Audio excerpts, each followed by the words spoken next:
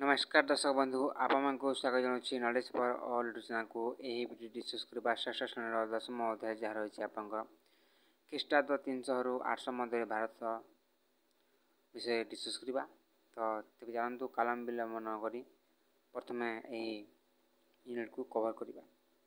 ଏହା ପୂର୍ବରୁ ଯଦି ଆପଣମାନେ ପୂର୍ବବର୍ତ୍ତୀ ସମସ୍ତ ଯେଉଁ ଅଧ୍ୟାୟ କଭର୍ କରାଯାଇଥିବା ଭିଡ଼ିଓକୁ ଯଦି ଆପଣମାନେ ଦେଖିନାହାନ୍ତି ତେବେ ନିଜ ପ୍ଲେଲିଷ୍ଟକୁ ଯାଇ ଆପଣମାନେ ସମସ୍ତ ଭିଡ଼ିଓକୁ ଦେଖିପାରିବେ। ତେବେ ଏହି ଭିଡ଼ିଓରେ ଆମେ ଜାଣିବା। ଖ୍ରୀଷ୍ଟାବ୍ଦ ତିନିଶହରୁ ଆଠଶହ ମଧ୍ୟରେ ଭାରତର ଯେଉଁ ଶାସନ ପ୍ରଣାଳୀ ତା'ର ସାମାଜିକ କ୍ଷେତ୍ର ବିଷୟରେ ବୈଦେଶିକ ଯେଉଁ ବଂଶ ରାଜାମାନେ କିପରି ଭାରତରେ ଆସି ଶାସନ ପ୍ରତିଷ୍ଠା କରୁଥିଲେ ସେ ବିଷୟରେ ଡିସ୍କସ୍ କରିବା। ଦେଖନ୍ତୁ ପ୍ରଥମେ କୁଷାଣମାନଙ୍କ ରାଜତ୍ୱ ପରେ ଭାରତରେ ରାଜନୈତିକ ଅସ୍ଥିରତା ଦେଖାଦେଲା। ପରେ ଛୋଟ ଛୋଟ ରାଜ୍ୟରେ ବିଭକ୍ତ ହୋଇଥିଲା। ଗୁପ୍ତମାନେ ଏକ ବିଶାଳ ବିଶାଳ ଶକ୍ତିଶାଳୀ ସାମ୍ରାଜ୍ୟ ପ୍ରତିଷ୍ଠା କରିଥିଲେ ଏବଂ ଏହାର ମୁଖ୍ୟ ଥିଲେ ଆପଣଙ୍କର ଶ୍ରୀଗୁପ୍ତ ଏବଂ ଘଟୋତ୍କଚ ଗୁପ୍ତ। ଏହାର ମୁଖ୍ୟ ଥିଲେ ଏହି ଦୁଇ ଜଣ। ସେ ମହାରାଜା ଉପାଧିରେ ନିଜକୁ ଭୂଷିତ କରୁଥିଲେ। ଭାରତରେ ଗୁପ୍ତ ଶାସନ ପ୍ରତିଷ୍ଠା ଆପଣଙ୍କର ଖ୍ରୀଷ୍ଟୀୟ ପୂର୍ବ ଆପଣଙ୍କର ଭାରତରେ ଗୁପ୍ତ ଶାସନ ଖ୍ରୀଷ୍ଟୀୟ ତୃତୀୟ ଶତାବ୍ଦୀର ମଧ୍ୟଭାଗରେ ପ୍ରତିଷ୍ଠିତ ହେଲା। ଗୁପ୍ତ ବଂଶ ଶାସନର ତୃତୀୟ ରାଜା ଥିଲେ ଆପଣଙ୍କର ପ୍ରଥମ ଚନ୍ଦ୍ରଗୁପ୍ତ ଯିଏକି ତୃତୀୟ ଖ୍ରୀଷ୍ଟାବ୍ଦରେ ରାଜତ୍ୱ ଆରମ୍ଭ କଲେ ସ୍ୱାଧୀନ ରାଜା ଥିଲେ ତେଣୁ ସେ ରାଜା ନିଜକୁ ରାଜା ଆପଣଙ୍କର ଯେଉଁ ମହାରାଜା ଧୀରାଜ ଉପାଧିରେ ଧାରଣ କରିଥିଲେ ତ ପ୍ରଥମେ ଦେଖିବା ଗୋଟେ ପରେ ଗୋଟେ ଗୁପ୍ତ ରାଜାମାନଙ୍କର ତାଙ୍କର ବିବରଣୀ ବିଷୟରେ ପ୍ରଥମେ ଦେଖୁଥିବା ପ୍ରଥମ ଚନ୍ଦ୍ରଗୁପ୍ତ ପ୍ରଥମ ଚନ୍ଦ୍ରଗୁପ୍ତ ଥିଲେ ସେ ଅନୁମାନିକ ହିସାବରେ ଖ୍ରୀଷ୍ଟାବ୍ଦ ଆପଣଙ୍କ ତିନିଶହ କୋଡ଼ିଏରେ ସେ ସିଂହାସନ ଆରମ୍ଭ କରୁଥିଲେ ଏବଂ ସେ ସିଂହାସନ ତିନିଶହ କୋଡ଼ିଏରେ ଯେହେତୁ ସେ ସିଂହାସନ ଆରମ୍ଭ କରୁଥିଲେ ତେଣୁ ସେ ଏହି ବର୍ଷଠାରୁ ଗୁପ୍ତାଧ୍ୱ ଆରମ୍ଭ କରିଥିଲେ କୁମାର ଦେବୀ ସେ ସେ କୁମାର ଦେବୀଙ୍କୁ ବିବାହ କରୁଥିଲେ ଯିଏକି ଲିଛଇ ବଂଶର ଥିଲେ ତାଙ୍କୁ ବିବାହ କରୁଥିଲେ ତେଣୁ ଉତ୍ତର ଭାରତରେ ପ୍ରଭାବ ବୃଦ୍ଧି ପାଇବା ପାଇଥିଲା ଯେହେତୁ ସେ ଲିଛଇ ବଂଶର ଯେଉଁ ଆପଣଙ୍କ କୁମାର ଦେବୀକୁ ବିବାହ କରୁଥିଲେ। ତାଙ୍କର ରାଜ୍ୟ ବିହାର ବଙ୍ଗଲ ଉତ୍ତର ଭାରତରେ କେତେଗୋଟି ରାଜ୍ୟକୁ ନେଇ ଗଠିତ ହୋଇଥିଲା ଏବଂ ସେ କେତେକ ମୁଦ୍ରା ମଧ୍ୟ ସେ ମଧ୍ୟ ମୁଦ୍ରା ପ୍ରଚଳନ କରିଥିଲେ। ତେବେ ସମୁଦ୍ରଗୁପ୍ତଙ୍କ ବିଷୟରେ ଜାଣିବା ସେ ଖ୍ରୀଷ୍ଟାବ୍ଦ ତିନିଶହ ପଇଁତିରିଶରୁ ତିନିଶହ ଅଶୀ ମଧ୍ୟରେ ଶାସନ ପ୍ରମାଣ କାର୍ଯ୍ୟ କରିଥିଲେ। ସେ ପ୍ରଥମ ଚନ୍ଦ୍ରଗୁପ୍ତଙ୍କର ସୁଯୋଗ୍ୟ ପୁତ୍ର ସମୁଦ୍ରଗୁପ୍ତ ସିଂହାସନ ଆରୋହଣ କରୁଥିଲେ। ସେ ପ୍ରଥମ ଚନ୍ଦ୍ରଗୁପ୍ତଙ୍କର ପୁତ୍ର ଥିଲେ। ସେ ସମୁଦ୍ରଗୁପ୍ତ ଆପଣଙ୍କ ପ୍ରଥମ ଚନ୍ଦ୍ରଗୁପ୍ତଙ୍କ ମୃତ୍ୟୁ ପରେ ସେ ସିଂହାସନ ଆରମ୍ଭ କରିଥିଲେ। ତାଙ୍କର କୃତିତ୍ୱ ବିଷୟରେ ଆମେ ଆଲାହାବାଦ ପ୍ରଶସ୍ତିରୁ ଜାଣିଥାଉ ଯାହା ତାଙ୍କୁ ଆପଣଙ୍କର ଯେଉଁ ଏହି ପ୍ରଶସ୍ତିକୁ ତାଙ୍କ ମନ୍ତ୍ରୀ ହରିସେନ ଏହାକୁ ରଚନା କରିଥିଲେ।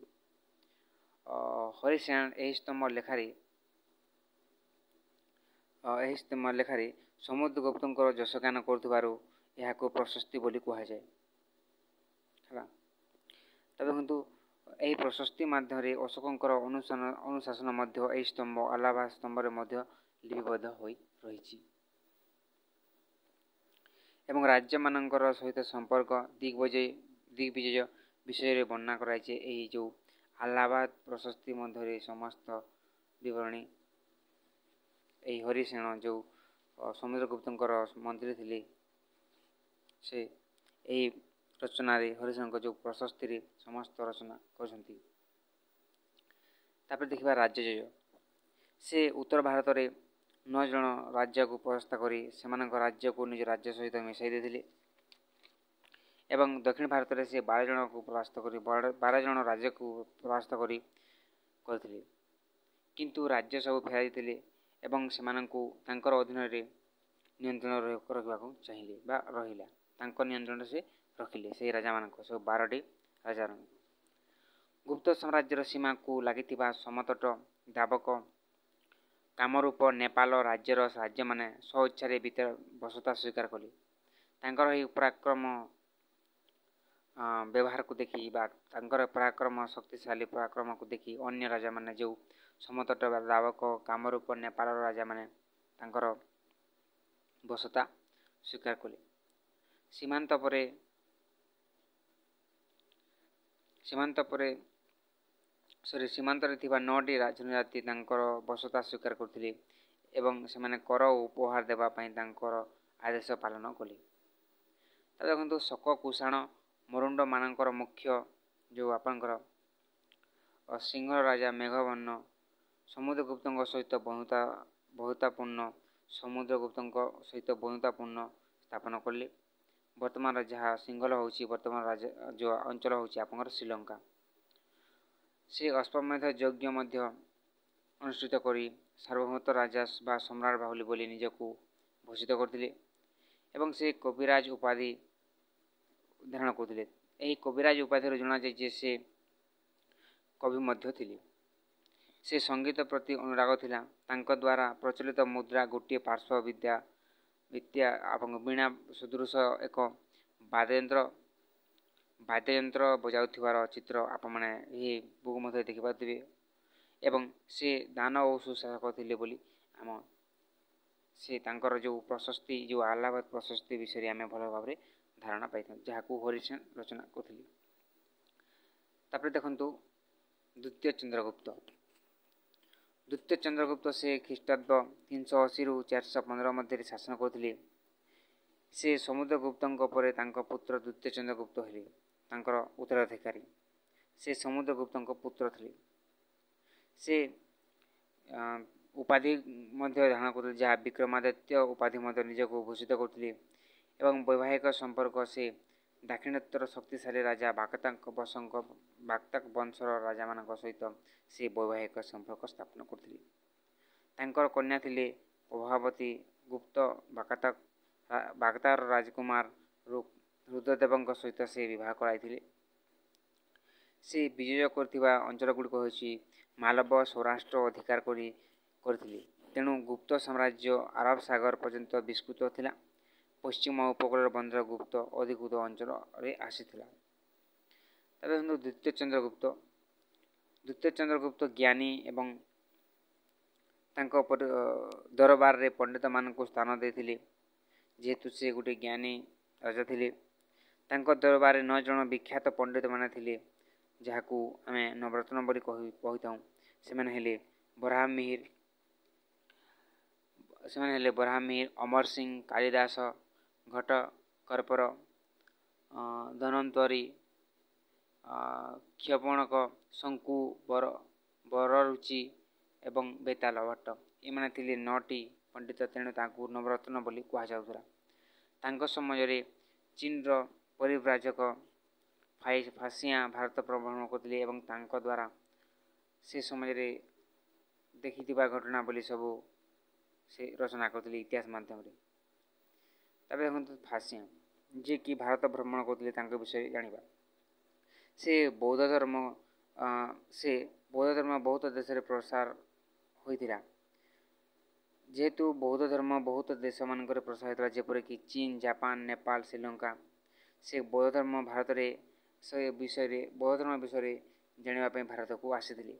ଯେହେତୁ ବୌଦ୍ଧ ଧର୍ମ ଭାରତରୁ ଉଦ୍ଭୂତ ହୋଇଥିଲା ତେଣୁକରି ସେ ବୌଦ୍ଧ ଧର୍ମ ବିଷୟରେ ଜାଣିବା ପାଇଁ ଭାରତକୁ ଆସିଥିଲେ। କିଏ ନା ଆପଣଙ୍କର ଫାସିଆଁ ଦ୍ୱିତୀୟ ଚନ୍ଦ୍ରଗୁପ୍ତ ରାଜା ଥିଲେ ସେ ସମୟରେ ସେ କିନ୍ତୁ ସେ ଯେ ସମୟରେ ଫାସିଆ ଭାରତକୁ ଆସିଥିଲେ ସେ ସମୟରେ ଦ୍ୱିତୀୟ ଚନ୍ଦ୍ରଗୁପ୍ତ ରାଜା ଥିଲେ। କିନ୍ତୁ ସେ ତାଙ୍କର ବିବରଣୀରେ ଗୁପ୍ତ ସମ୍ରାଟ ସମୁଦ୍ରଗୁପ୍ତଙ୍କ ନାମ ଉଲ୍ଲେଖ କରିନାହିଁ ହେଲା ତାଙ୍କ ବିବରଣୀ ଜଣାଯାଏ ଯେ ଭାରତୀୟମାନେ ସେତେବେଳେ ଖୁସିରେ ରହୁଥିଲେ। ରାଜାମାନେ ସୁଶାସକ ଥିଲେ ଏବଂ ପ୍ରାଣଦଣ୍ଡ ବ୍ୟବସ୍ଥା ନଥିଲା। ତାଙ୍କ ଯେଉଁ ବହି ମଧ୍ୟରେ ସେ କୌଣସି ନିର୍ଦ୍ଦିଷ୍ଟ ବ୍ୟକ୍ତି ଦୋଷ କଲେ ତାଙ୍କୁ ଅଙ୍ଗଚ୍ଛେଦ କରିଦେଉଥିଲେ ବୋଲି ସେ ଗୁପ୍ତ ସମାଜରେ ଯେଉଁ ରାଜା ଥିଲେ ଦ୍ୱିତୀୟ ଚନ୍ଦ୍ରଗୁପ୍ତ ତାଙ୍କ ସମୟର ଐତିହାସିକ ଘଟଣାବଳୀକୁ ସେ ରଚନା କରୁଥିଲେ। ଚାଷୀମାନଙ୍କ ଠାରୁ ସେ ଏକ ଚତୁର୍ଥାଂଶ ଅଂଶ କର ନେଉଥିଲେ ବୋଲି ଉଲ୍ଲେଖ କରୁଥିଲେ ତାଙ୍କର ଯେଉଁ ବହିରେ।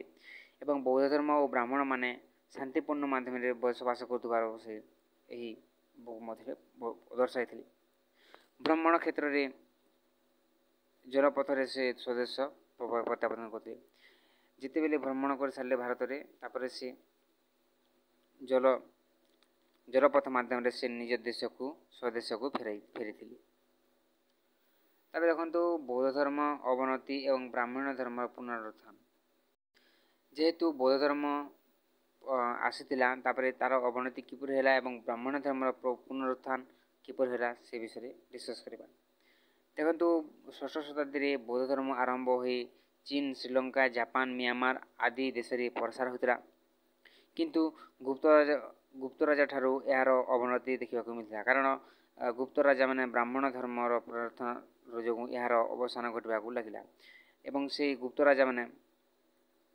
ବ୍ରାହ୍ମଣ ଧର୍ମର ପୃଷ୍ଠପୋଷକ ଥିଲେ। ଗୁପ୍ତ ରାଜାମାନେ ଦୁଇଶହ ବର୍ଷରୁ ଅଧିକ ଶାସନ କଲେ ଏବଂ ବ୍ରାହ୍ମଣ ଧର୍ମର ପୃଷ୍ଠପୋଷକ ଥିଲେ। ତେଣୁକରି ଏହି ବୌଦ୍ଧ ଧର୍ମର ଟିକିଏ ଅବସାନ ଘଟିଲା ଏବଂ ସେମାନେ ବ୍ରାହ୍ମଣ ଧର୍ମ ପ୍ରତି ବିଶେଷ ମାତ୍ରାରେ ବିଶେଷ ମାତ୍ରାରେ ସେମାନେ ଗୁରୁତ୍ୱ ଦେଇଥିଲେ।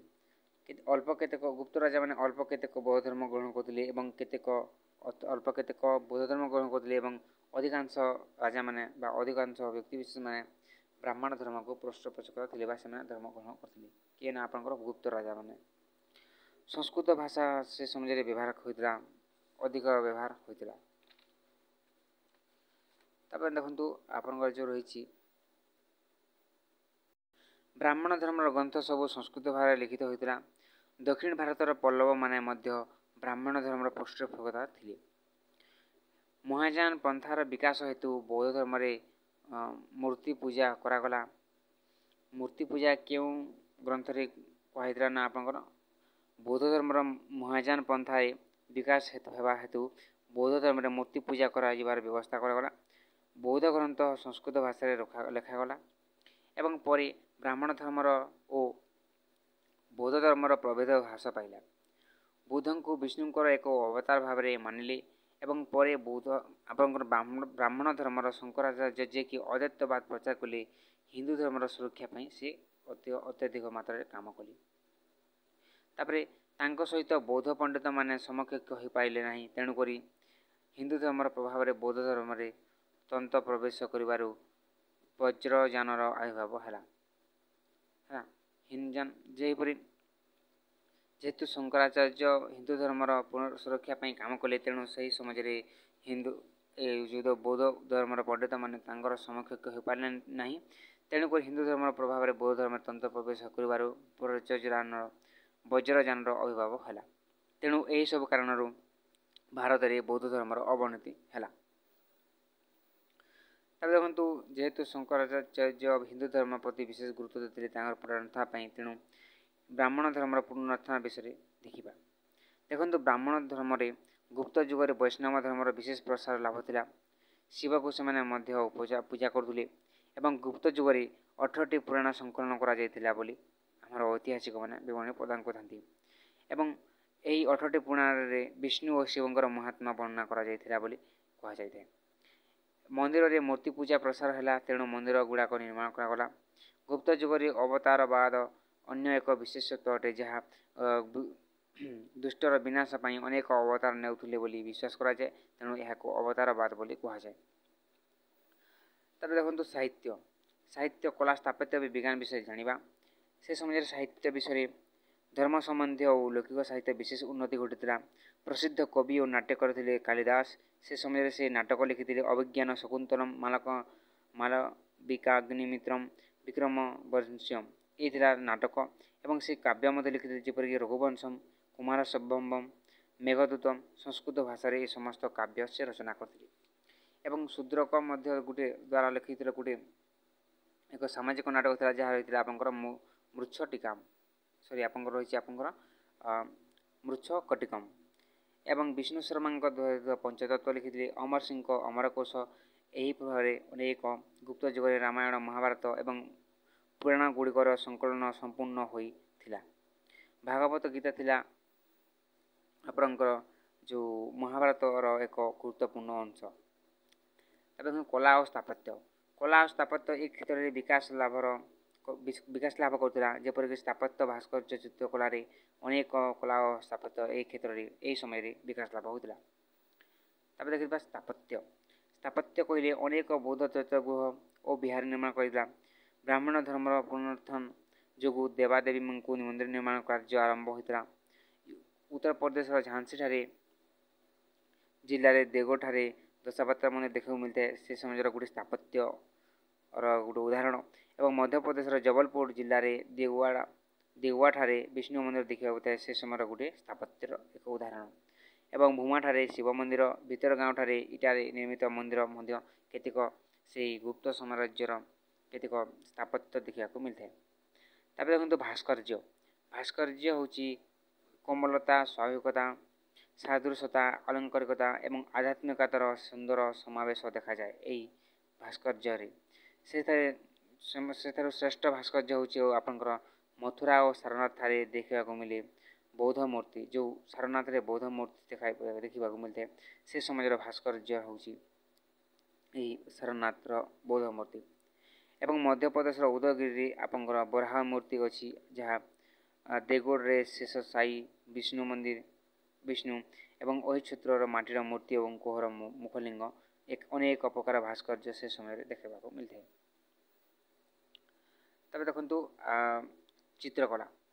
ଚିତ୍ରକଳା ସାଧାରଣତଃ ମହାରାଷ୍ଟ୍ରର ଅଜନ୍ତାରେ ଚିତ୍ର ଦେଖିବାକୁ ମିଳିଥାଏ। ତାହାର ଗୋଟିଏ ଉଦାହରଣ ଯାହା ସେ ସମୟର ଗୁପ୍ତ ଯୁଗର କେତେକ ଚିତ୍ରକଳା ବିଷୟରେ ଆମେ ଅନେକ ତଥ୍ୟ ପ୍ରଦାନ ପାଇଥାନ୍ତୁ।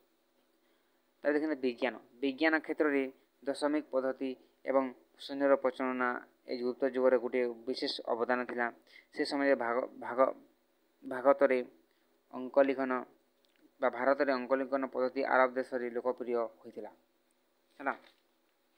ଏବଂ ପରେ ଏହି ପଦ୍ଧତି ୟୁରୋପକୁ ଯାଇଥିଲା ଯାହା ପରବର୍ତ୍ତୀ ସମାଜରେ ଆର୍ଯ୍ୟଭଟ୍ଟ ଯିଏକି ଆପଣଙ୍କର ପୁସ୍ତକ ଯିଏ ଗଣିତ ଓ ଜ୍ୟୋତିର୍ବିଜ୍ଞାନରେ ଉପରେ ପାରଙ୍ଗମ ଥିଲେ ସେ ଆର୍ଯ୍ୟଭଟ୍ଟ ପୁସ୍ତକ ରଚନା କରୁଥିଲେ ଏବଂ ତାଙ୍କ ମତରେ ସେ ପୃଥିବୀର ପୃଥିବୀ ଏକ ଗୃହ ଏବଂ ନିଜ ତାହା ନିଜ କକ୍ଷରେ ଘୁରୁଛି ବୋଲି ସେ ପ୍ରଥମେ ଦର୍ଶାଇଥିଲେ।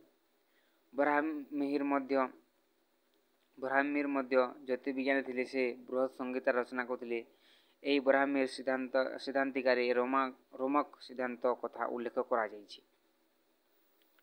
ତାପରେ ଦେଖନ୍ତୁ ଚିକିତ୍ସା ଶାସ୍ତ୍ର ବିଶାରଦ ଯେଉଁ ଆପଣଙ୍କର ବାଣଭଟ୍ଟ ଥିଲେ ସେ ଗୁପ୍ତ ଯୁଗରେ ଥିଲେ ବୋଲି ବିଶ୍ୱାସ କରାଯାଏ।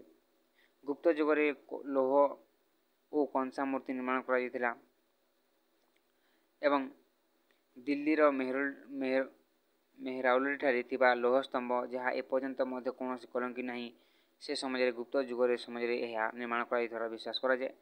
ନାଳନ୍ଦାର ଏକ ବିଶାଳ ସ୍ତାମ୍ର ନିର୍ମିତ ବୌଦ୍ଧ ମୂର୍ତ୍ତି ମଧ୍ୟ ମିଳିଛି। ତେଣୁ ଗୁପ୍ତ ଯୁଗ ହେଉଛି ଏକ ସୁବର୍ଣ୍ଣ ଯୁଗ। ତେଣୁ କାରଣ ଏଠାରେ ଅନେକ ସ୍ଥାପତ୍ୟ କଳା ସଂସ୍କୃତି ଭାସ୍କର୍ଯ୍ୟ ଦେଖିବାକୁ ମିଳିଥାଏ। ତେଣୁକରି ଏ ଯୁଗକୁ ସୁବର୍ଣ୍ଣ ଗୁପ୍ତ ଯୁଗର ସୁବର୍ଣ୍ଣ ଯୁଗ ବୋଲି କୁହାଯାଏ। ତେବେ ଚାଲ ଦେଖିବା ପରବର୍ତ୍ତୀ ଯେଉଁ ପରବର୍ତ୍ତୀ ଯେଉଁ ବଂଶ ରାଜାମାନେ ଥିଲେ ଯେଉଁମାନେ କି ଭାରତ ଶାସନ ପ୍ରଚଳନ କରୁଥିଲେ ଦେଖିବା। ସେମାନଙ୍କ ମଧ୍ୟରୁ ଯେଉଁ ଆପଣଙ୍କର ପଲ୍ଲବ ବଂଶ ଥିଲେ ଚାଲୁକ୍ୟ ବଂଶ ବର୍ଦ୍ଧନ ବଂଶ ଏବଂ ଜାଙ୍ଗ ଜାଙ୍ଗ ଭାରତର ଭ୍ରମଣ ବିଷୟରେ ଦେଖିବା। ତ ପ୍ରଥମେ ଦେଖିବା ପଲ୍ଲବ ବଂଶ। ପଲ୍ଲବ ବଂଶ ଏକ ପ୍ରାଚୀନ ରାଜବଂଶ ଥିଲା ଯାହା ତାମିଲନାଡ଼ୁର କାଞ୍ଚି ଅଞ୍ଚଳରେ ରାଜତ୍ୱ କରୁଥିଲେ ଏମାନେ ପ୍ରଥମେ। ଚାଲୁକ୍ୟମାନଙ୍କ ପୂର୍ବରୁ ଦକ୍ଷିଣ ଭାରତରେ ଏକ ଶକ୍ତିଶାଳୀ ରାଜା ପ୍ରତିଷ୍ଠା ହୋଇଥିଲା। ଚାଲୁକ୍ୟମାନଙ୍କ ମଧ୍ୟ ପୂର୍ବରୁ ଦକ୍ଷିଣ ଭାରତରେ ଏକ ବଂଶ ଶକ୍ତିଶାଳୀ ବଂଶ ସ୍ଥାପିତ ହେଇଥିଲା ଯାହା ହେଇଥିଲା ଆପଣଙ୍କର ପଲ୍ଲବ ବଂଶ। ଏହି ପଲ୍ଲବ ବଂଶର ପ୍ରଥମ ରାଜା ଥିଲେ ସିଂହ ବିଷ୍ଣୁ ଶତ୍ରୁମାନଙ୍କୁ ପରାସ୍ତ କରି କୃଷ୍ଣ ନଦୀଠାରୁ କାବେରୀ ପର୍ଯ୍ୟନ୍ତ ରାଜା ରାଜ୍ୟ ସ୍ଥାପନ କରିଥିଲେ। ତାଙ୍କର କେତେକ ମୁଖ୍ୟ ବିଶିଷ୍ଟ ରାଜା ଥିଲେ ସେମାନଙ୍କ ମଧ୍ୟରୁ ପ୍ରଥମ ମହେନ୍ଦ୍ର ବର୍ମନ ଥିଲେ ଯିଏକି ଖ୍ରୀଷ୍ଟ ଖ୍ରୀଷ୍ଟାବ୍ଦ ଛଅଶହରୁ ଛଅଶହ ତିରିଶ ମଧ୍ୟରେ ସେ ସିଂହାସନ ଆହରଣ କରି ନିଜର ଶାସନ କାର୍ଯ୍ୟ ଆରମ୍ଭ କରିଥିଲେ। ସେ ପ୍ରଥମ ପରାକ୍ରମୀ ରାଜା ଥିଲେ ଯିଏ ତାଙ୍କ ସମାଜରେ ପଲ୍ଲବ ଓ ଚାଲୁକ୍ୟମାନଙ୍କ ମଧ୍ୟରେ ଶତ୍ରୁତା ହୋଇଥିଲା ଏହି ସେ ଶହେ ବର୍ଷରୁ ଅଧିକ ଲାଗି ରହିଥିଲା ଏହି ଯେଉଁ ପଲ୍ଲବ ଏବଂ ଚାଲୁକ୍ୟମାନଙ୍କ ମଧ୍ୟରେ ଶହେ ବର୍ଷରୁ ଅଧିକ ଶତ୍ରୁତା ଭାବ ତାଙ୍କ ସହିତ ରହିଥିଲା ଚାଲୁକ୍ୟ ରାଜା ଦ୍ୱିତୀୟ ପୁଲକେଶନ ଓ ମହେନ୍ଦ୍ର ବର୍ମା ସହିତ ଯୁଦ୍ଧ ଆରମ୍ଭ ହୋଇଥିଲା ମହେନ୍ଦ୍ର ବର୍ମା ଯୁଦ୍ଧ ଯୋଦ୍ଧା କବି ଓ ସଙ୍ଗୀତଜ୍ଞ ମଧ୍ୟ ଗୋଟେ ଥିଲେ। ତାପରେ ଦେଖିଥିବା ପ୍ରଥମ ନରସିଂହ ବର୍ମନ ଯିଏକି ସିଂହାସନ ଆରମ୍ଭ କରୁଥିଲେ ଛଅଶହ ତିରିଶରୁ ଛଅଶହ ଅଠଷଠି ମଧ୍ୟରେ ନିଜର ଶାସନ ଭାର ଆରମ୍ଭ କରୁଥିଲେ ଏବଂ ସେ ପଲ୍ଲବ ବଂଶର ଏକ ସର୍ବଶ୍ରେଷ୍ଠ ରାଜା ରୂପେ ସୁପରିଚିତ ଥିଲେ। ତାଙ୍କ ସମାଜରେ ପଲ୍ଲବ ବଂଶ ରାଜନୈତିକ ସ୍ଥିର ସ୍ଥିତିଟା ଶୀର୍ଷକରେ ପହଞ୍ଚି ପାରିଥିଲା। ସେ ଚାଲୁକ୍ୟ ରାଜା ଦ୍ୱିତୀୟ ପୁଲକେଶଙ୍କୁ ପରାସ୍ତ କରିଥିଲେ ଏବଂ ଚାଲୁକ୍ୟ ରାଜଧାନୀ ବାତାପିକୁ ଅଧିକାର କରିଥିଲେ। ସେ ସେଥିପାଇଁ ବାତାପି କେଣ୍ଡା ନାମରେ ଅଭିହିତ କରାଯାଇଥିଲା।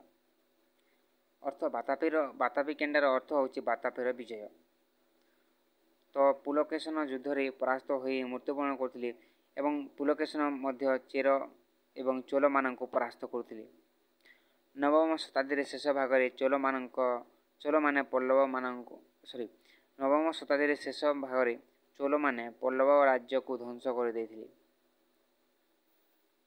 ଏହି ଭାବରେ ଚୋଲ ଆପଣଙ୍କର ପଲ୍ଲବ ବଂଶମାନଙ୍କର ପଲ୍ଲବ ବଂଶର ବିନାଶ ହୋଇଥିଲା। ତାପରେ ଦେଖିବା ପଲ୍ଲବ ବଂଶର ଯେଉଁ ସଂସ୍କୃତିର ବିକାଶ କିପରି ଘଟିଥିଲା ସଂସ୍କୃତ ଭାଷାକୁ ସେମାନେ ଯଥେଷ୍ଟ ସମ୍ମାନ ଦିଆଯାଉଥିଲା ସେ ସମୟରେ। ଦରବାର ପଣ୍ଡିତମାନେ ସେମାନଙ୍କ ମଧ୍ୟରେ ଥିଲେ। ଭାରବୀ ଏବଂ ଦଣ୍ଡୀ ଅନେକ ବହୁତ ପ୍ରକାର ପଣ୍ଡିତ ମାନ୍ୟଗୁଣ୍ୟ ପଣ୍ଡିତମାନେ ସେ ସମୟରେ ଥିଲେ। ସେମାନଙ୍କ ମଧ୍ୟରେ ଭାରବୀ ଏବଂ ଦଣ୍ଡୀ ଥିଲେ ଅନ୍ୟତମ। ଭାରବୀ କିରାତ କିରାତାନୁ କିରାତା ଜୁନିୟମ ଏବଂ ଦଶକୁମାର ରଚିତ କେତେକ ଗ୍ରନ୍ଥ ମଧ୍ୟ ରଚନା କରୁଥିଲେ। କାଞ୍ଜି ଥିଲା ସଂସ୍କୃତି ଓ ଶିକ୍ଷାର ଏକ ଶ୍ରେଷ୍ଠ କେନ୍ଦ୍ର ଥିଲା। ପ୍ରଥମ ମହେନ୍ଦ୍ର ବର୍ମନ ମତବିଲାସ ବିଳାସ ପ୍ରଶାସନ ଏକ ସାମାଜିକ ନାଟକ ଲେଖିଥିଲେ। ଧର୍ମ ଥିଲା ଭକ୍ତି ଆନ୍ଦୋଳନ ବୈଷ୍ଣବତା ବୈଷ୍ଣବ ଏବଂ ଶୈବ ସନ୍ଥମାନଙ୍କ ଦ୍ୱାରା ପ୍ରଥମେ ପଲ୍ଲବ ରାଜ୍ୟର ଆରମ୍ଭ ହୋଇଥିଲା। ଦକ୍ଷିଣ ଭାରତରେ ଏହି ସମାଜରେ ଆର୍ଯ୍ୟ ସମୟ ସଂସ୍କୃତିର ପ୍ରସାର ସମ୍ପୂର୍ଣ୍ଣ ହୋଇଥିଲା। କାଞ୍ଚି ଥିଲା ଗୋଟିଏ ଗୁରୁତ୍ୱପୂର୍ଣ୍ଣ ସ୍ଥାନ ଯେଉଁଠାରେ କି ବିଶ୍ୱବିଦ୍ୟାଳୟ ସ୍ଥାପିତ ହୋଇଥିଲା ଯାହା ଆର୍ଯ୍ୟ ସଂସ୍କୃତି ପ୍ରସାର କେନ୍ଦ୍ର ଥିଲା। ପଲ୍ଲବମାନେ ଏହି ସବୁ ଧର୍ମ ସରି ପଲ୍ଲବମାନେ ସବୁ ଧର୍ମ ପ୍ରତି ସମ୍ମାନ ଦେଉଥିଲେ ଏବଂ ପଲ୍ଲବମାନେ ଚୀନ ପୂର୍ବଜାଙ୍କ ଜୁଆଙ୍ଗଜାଙ୍ଗ ପଲ୍ଲବ ରାଜ୍ୟ ଭ୍ରମଣ କରି ତାଙ୍କ ବିବରଣୀରେ କାଞ୍ଚିପୁରମ ସମ୍ବନ୍ଧରେ ବର୍ଣ୍ଣନା କରାଯିବାର ଆମେ ତାଙ୍କ ବିବରଣୀ ଜଣାପାଇଥାଉ ଶିବ ଓ ବିଷ୍ଣୁ ମନ୍ଦିର ନିର୍ମାଣ କରାଯାଇଥିଲା ସେ ସମୟରେ ମହାବଲୀପୁରମଠାରେ ବିରାଟ ପଥର କାଟି କେତେ ଗୁଡ଼ିଏ ମନ୍ଦିର ନିର୍ମାଣ କରାଯାଇଥିଲା ତାକୁ ରଥ ବୋଲି କୁହାଯାଉଥାଏ। ରଥ ବୋଲି କୁହାଯାଉଥାଏ।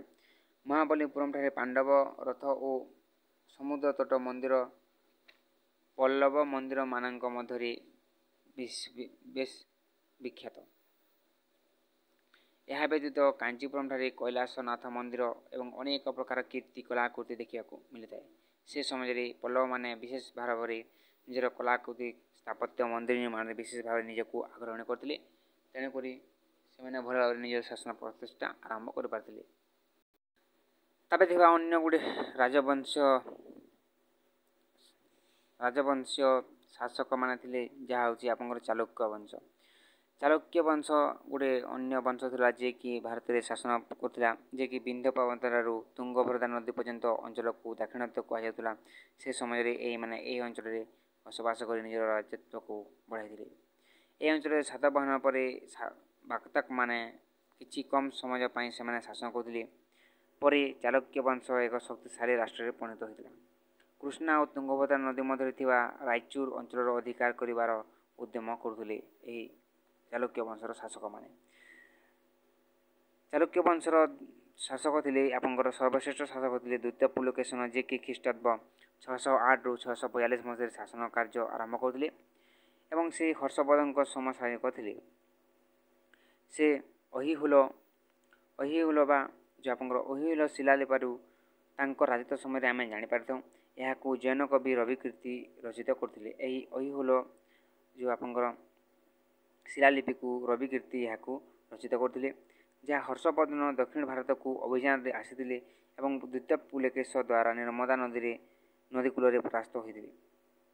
ତାଙ୍କୁ ପରାସ୍ତ କରି ପୁଲକେଶନ ଦକ୍ଷିଣ ପଥ ସ୍ୱାମୀ ଉପାଧିରେ ଭୂଷିତ ହୋଇଥିଲେ।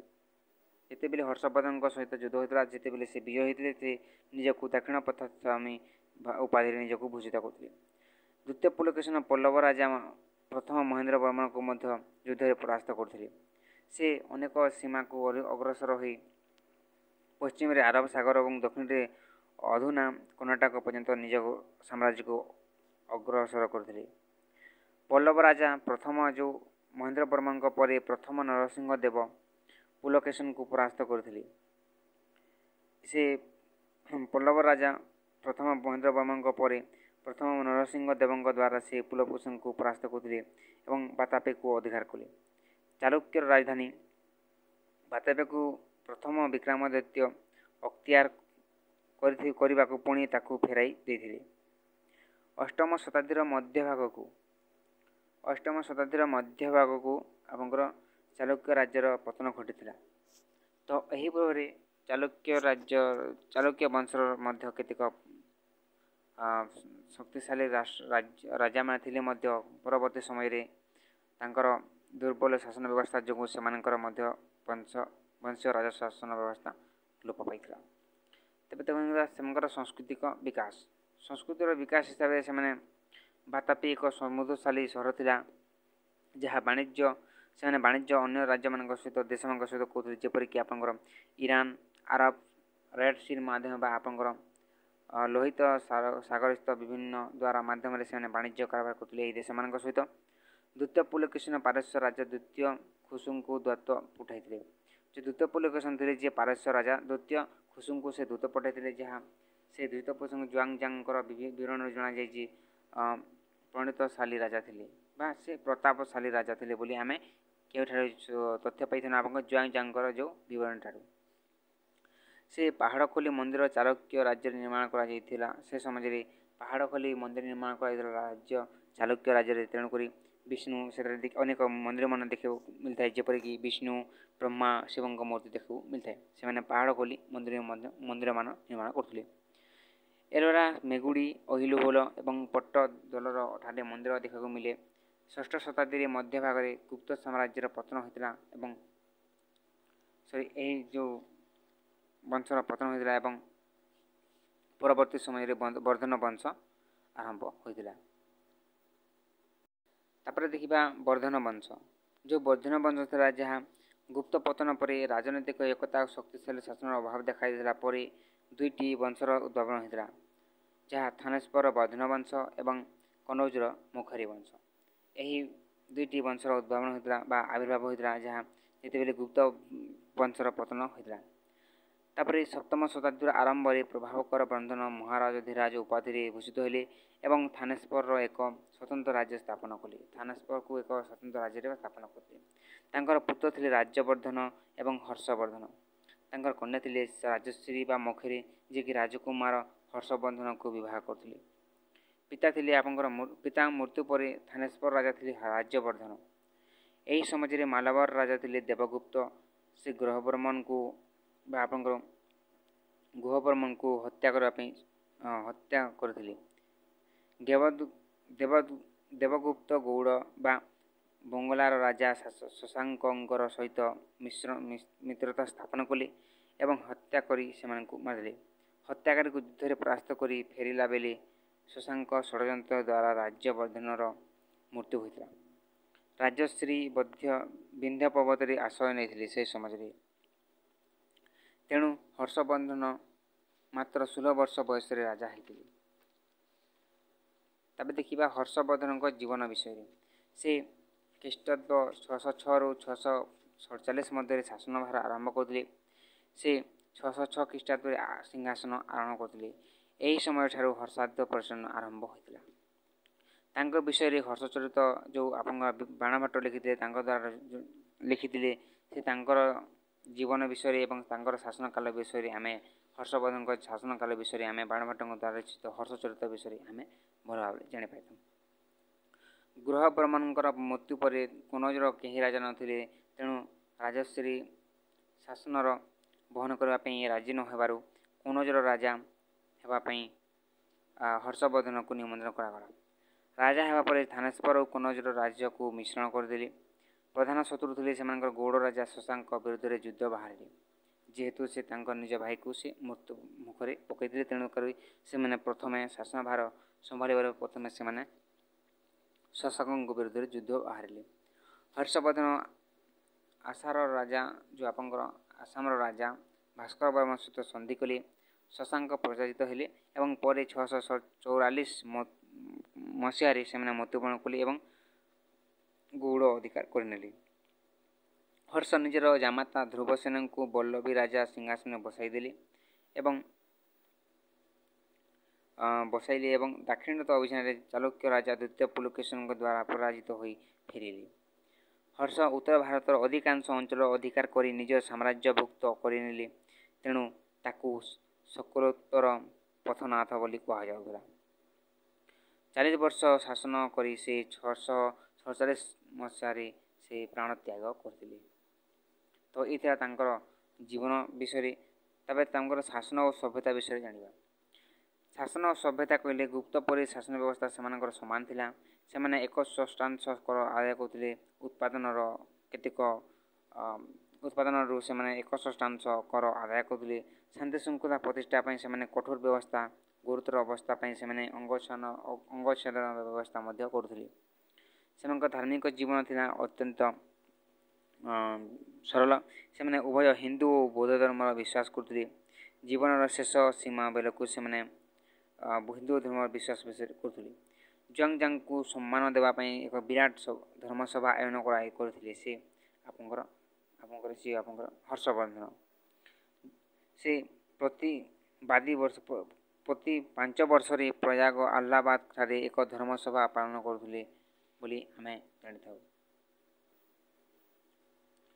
ତାପରେ ଏହି ଉତ୍ସବରେ ଧନ ଧନ ଦାନ କରୁଥିଲେ ଏବଂ ତାଙ୍କ ସମାଜରେ ମହାଯାନ ବୌଦ୍ଧ ଧର୍ମର ବିଶେଷ ପ୍ରସାର ହୋଇଥିଲା। ସେମାନେ କେତେକ ସାହିତ୍ୟ ସେ ତାଙ୍କ ସମୟ ଲେଖିଥିଲେ ଯେପରିକି ନାଗନନ୍ଦ ରତ୍ନାବଳୀ ପ୍ରିୟଦର୍ଶିକା ନାଟକ ଲେଖିଥିଲେ। ଏବଂ ସେ ବାଣଭଟ୍ଟ ଯେଉଁ ହର୍ଷଚରିତ ଏବଂ କାଦମ୍ବରୀ ରଚନା କରୁଥିଲେ। ବାଣଭଟ୍ଟ ହର୍ଷଚରିତ ଏବଂ କାଦମ୍ବରୀ ରଚନା କରୁଥିଲେ ତାଙ୍କ ସମାଜରେ। ଏହା ହର୍ଷବର୍ଦ୍ଧନଙ୍କ ସମୟରେ କେତେକ ଉଲ୍ଲେଖନୀୟ ଐତିହାସିକ ବୁକ୍ ମଧ୍ୟ ଲେଖିଥିଲେ। ତାପରେ ଜୁଆଙ୍ଗଜାଙ୍ଗ ଯିଏକି ଚୀନର ଏକ ପରିବ୍ରାଜକ ଥିଲେ ଯିଏ ବୌଦ୍ଧ ଧର୍ମ ଗ୍ରହଣ କରିବା ଏବଂ ବୌଦ୍ଧ ଧର୍ମ ସମ୍ବନ୍ଧରେ ଜାଣିବା ପାଇଁ ଭାରତ ଆସିଥିଲେ। ସେ ଛଅଶହ ଅଣତିରିଶ ମସିହାରେ ସ୍ଥଳପଥରେ ଆସିଥିଲେ ଭାରତକୁ।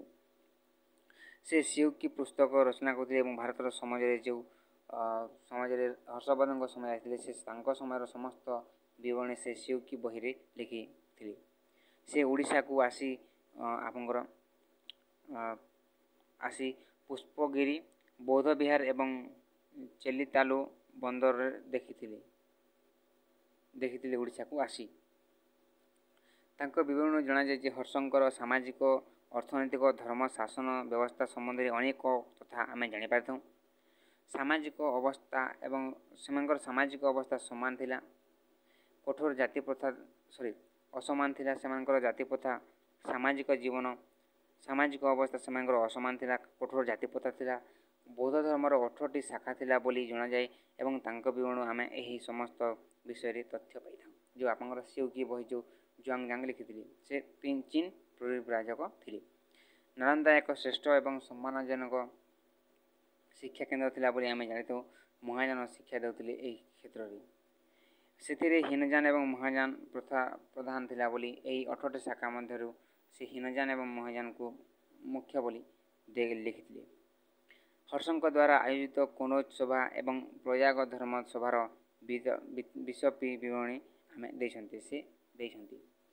ତାପରେ ଖ୍ରୀଷ୍ଟାବ୍ଦ ଛଅଶହ ସଡ଼ଷଠିରେ ଛଅଶହ ଚଉରାଳିଶରେ ସ୍ୱଦେଶକୁ ସେ ସ୍ତରପଥ ମାଧ୍ୟମରେ ଫେରିଗଲେ।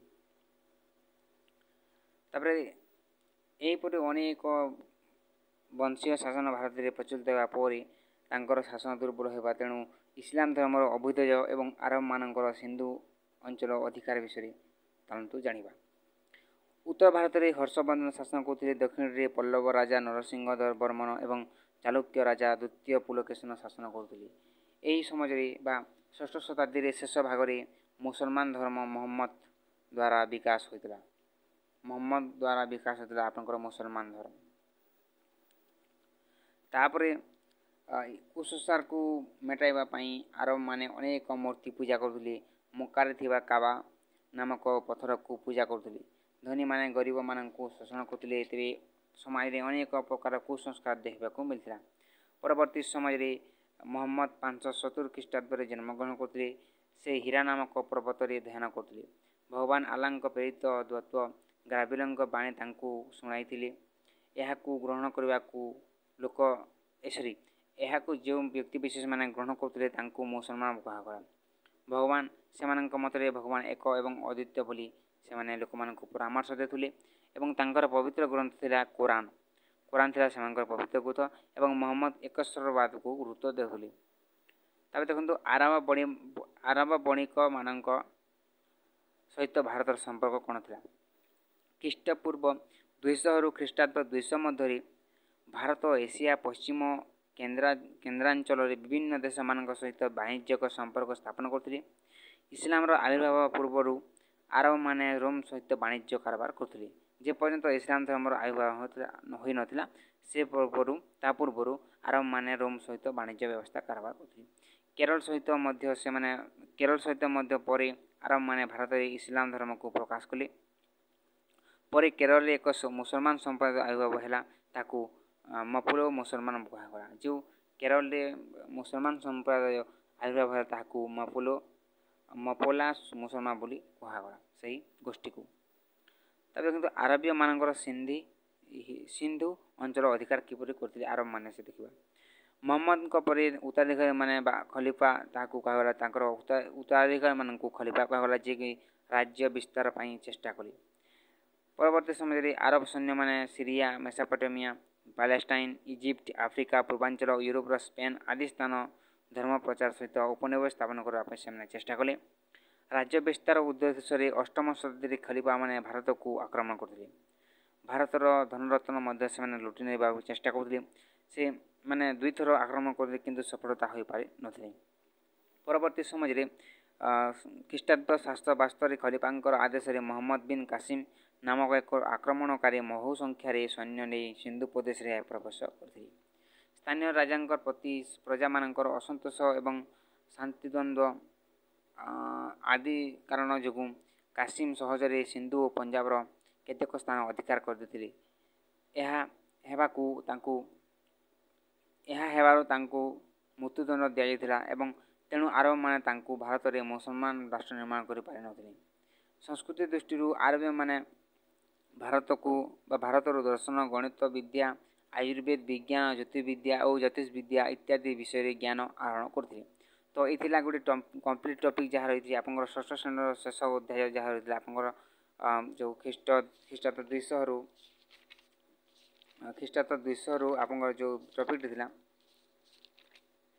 କି ଦୁଇଶହରୁ ତିନିଶହରୁ ଆଠଶହ ମଧ୍ୟରେ ଭାରତର ଯେଉଁ ଶାସନ ବ୍ୟବସ୍ଥା ପ୍ରଣାଳୀ ଥିଲା ସେ ବିଷୟରେ କମ୍ପ୍ଲିଟ୍ ଡିସ୍କସ୍ କଲା ତେବେ এই ଥିଲା ଶେଷ ଭିଡ଼ିଓ ତେବେ ଆପଣମାନେ ପରବର୍ତ୍ତୀ ଭିଡ଼ିଓରେ ଆପଣମାନେ ସପ୍ତମ ଶ୍ରେଣୀର ପ୍ରଥମ ଅଧ୍ୟାୟ ପାଇପାରିବେ ଭିଡ଼ିଓ କମ୍ପ୍ଲିଟ୍ ଦେଖିଥିବାରୁ ଧନ୍ୟବାଦ